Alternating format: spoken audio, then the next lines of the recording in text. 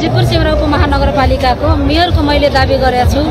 किनभने गत चौहत्तर सालको निर्वाचनमा म उप भएर काम गर्ने सिलसिलामा कतिपय चिजहरू डिसिजन गर्न नसकेको अवस्थामा नगरवासीहरूलाई मैले जुन सान्त्वना दिएको थियो काम गर्छु भनेर आएको थिएँ त्यो काम नगरेको अवस्थामा अहिले म एक नम्बरमा आएर म आफ्नो डिसिजन आफ्नो नगरवासीको लागि आफ्नो नगरवासीको हितको लागि महिला अधिकारहरूको लागि मैले आफै डिसिजन गर्ने र नगरवासीहरूका लागि सुविधा सम्पन्न र सुशासन सहितको यो नगरपालिकालाई राम्रो बनाएर अगाडि बढाउँछु र हाम्रो नगरपालिका राम्रो बनोस् हराभरा र एकदम रोजगार रोजगार बनोस् र महिलाहरूको हित अधिकार सधैँ सुनिश्चित होस् भनेर मैले अधिकार प्राप्तको लागि यो उम्मेदवारी दियो घोषणा सबै काममा हुन्छ। कुनै सानातिना काममा पनि चुनौती हुन्छ तर चुनौतीलाई अवसरमा लिएर हरेक नगरवासीको मनमा सबै पुगेको छ।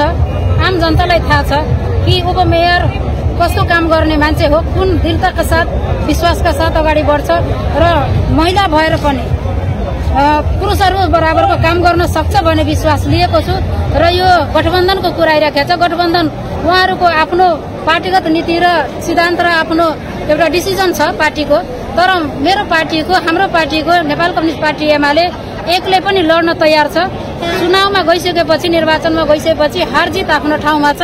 तर पहिले नै हार मानेर गठबन्धन गर्नु उचित होइन। हामी एक्लै पनि जान सक्छौँ। हाम्रो पार्टीको यो निर्णय माथि केन्द्रमा पनि निर्णय भएको छ। निर्णय अनुसारको हामी काम गरिराखेका छौँ। नेपाल कम्युनिस्ट पार्टी एमाले जुन कार्यकर्तासँग आश्वासन गर्छ त्यो काम गरेर छाड्छ र कतिपय मान्छेलाई जानकारी भइसकेको छ कि उपमेयर पदमा अधुरा कामहरू छ। अब मेयर आएर मेयरको एक नम्बर सिटमा आएर उहाँहरूले राम्रो काम गर्नुहुन्छ भन्ने विश्वास पनि गरेर जिताउनुहुन्छ र महिला यो नेपालभरिमा महिला मेयर होइन कि दुई तिनवटा ठाउँ भइसकेको छ तर यो मध्य प्रदेशको बाह्र जिल्लामा एउटा महिला नेतृत्व एउटा महिला नगरपालिका उपमहानगरपालिका चलाउन महिला पनि साक्षी सक्षम छ भनेर सबै चिजलाई जानकारी गराउनुको लागि पनि महिला एउटा नेतृत्वमा पुग्न सक्छ पुरुषहरूको बराबर पनि काम गर्न सक्छ भनेर मैले दावी लिएको छु र सबैको विश्वास भरोसा पनि छ।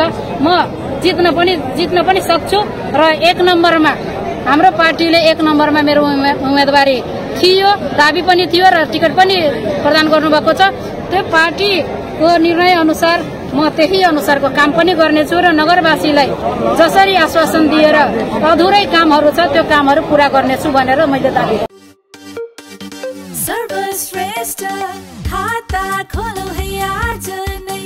सर्वश्रेष्ठ बचत